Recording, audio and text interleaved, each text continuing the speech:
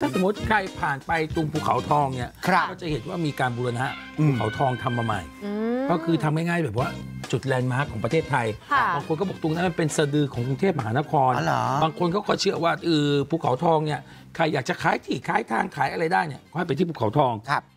นางเอกสาวคนหนึ่งที่ได้ไปเป็นเจ้าภาพอืมในการบูรณะปฏิสังขรณ์ภูเขาทองก็คือเบลล่าลานีนะฮะเมื่อวานนี้คุณเบลล่าเนี่ย เขาไปทำบุญที่วัดสะเกตราชมหาวิหารร่วมกับพลอยพลอยก็คือผู้จัดการส่วนตัวของเขาเนี่ยค่ะพร้อมคณะผู้มีจิตศรัทธาเนี่ยรวมเป็นเงินผ้าป่าทั้งหมดรวม8ล้าน9แสน8หมื่นนะฮะ 11 บาท 18 สตางค์นี่กับโอ้โหผู้จัดการเขาครับนะก็รวบรวมกันไป ก็เกณฑ์เรียกว่าเป็นเบลล่าเขาเป็นเจ้าภาพนี่แหละ ในการจัดงานบุญทอดพระป่าสามัคคี สมทบทุนโครงการบูรณะปฏิสังขรณ์องค์พระเจดีย์พระบรมพตรหรือภูเขาทองนะภายในงานคนใกล้ชิดนี่ก็ในในแล้วก็นอกเห็นพี่น้องอรุโณชา ทั้งข้างในแล้วก็นอกวงการบันเทิงเนี่ยกว่า 80 คนนะฮะที่เดินทางมาร่วมที่วัดสระเกศด้วย และอีกหนึ่งในนั้น ที่เป็นไฮไลท์คือคุณวิลชวิณเจียรวนนท์นี่แหละนี่นี่ซึ่งนักข่าวทุกคนลงความเห็นว่าหล่อจริงๆอือหือหล่อจริงครับเป็นนักธุรกิจหมื่นล้านทายาทตระกูลดังนะที่กำลังถูกจับตามองว่าเป็นแฟนของเบลล่าเนี่ย ก็เดินทางมาร่วมงานครั้งนี้ ไทยรัฐทีวีพยายามจะถามว่าสรุปแล้วความสัมพันธ์เป็นยังไงอะไรยังไงอะไปฟังเบลล่าตอบสักนิดนึงฮะ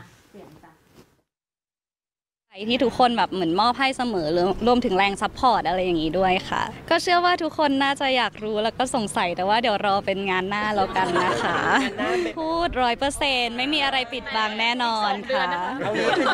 เป็นข่าว sure ไหมคะเบลงานรอคราวหน้านะคะนะ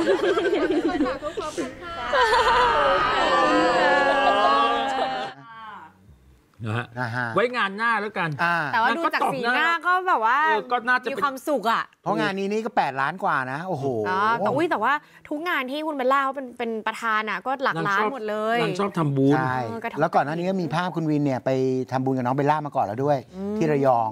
คนก็ตามจับว่าเอ๊ะผู้ชายคนนี้เป็นใครอะไรยังไง ซึ่งเขาบอกว่านักข่าวทุกคนลงความเห็นว่าหล่อจริง ๆ นะฮะอืมค่ะฮึหล่อแบบครบเลยจริงใช่ครบนะเคครื่รับองเพราะคุณวินก็ไปกับคุณแม่ด้วย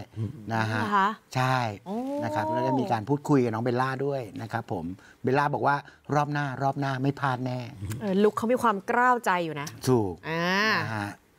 ดูเป็นนักธุรกิจหนุ่มนะ ไฟแรง ไฟแรงนะคะงานร่ำหรน้าวยร่ำรวย รอฟังงานหน้านี่ว่าเขาจะบอกว่าอะไรๆแต่ที่จริงมาตอบเรื่องความรักในวัดนางก็พูดของนางถูกเพราะมันก็ไม่เหมาะเพราะงานนี้เป็นงานทอดพระป่า แล้วตอบแบบว่าการบูรณะแต่นางก็ตอบน่ารักนะใช่เป็นคนที่ฉลาดตอบมากนะอ่าจริง ๆ ดูดีๆสินักข่าวรักนะหน้าตาเออสดใสอิ่มบุญแล้วก็มีความสุขอะดูน้องเบลล่าคือทำบุญเสร็จกำลังบูรณะเออภูเขาทองอยู่ดีๆมาตอบเรื่องความรักเดี๋ยวทัวร์ก็ลงนางอีกคนก็ไปด่านางอีกครับอ๋อ นางก็ทำของนางถูกแล้วล่ะอ่า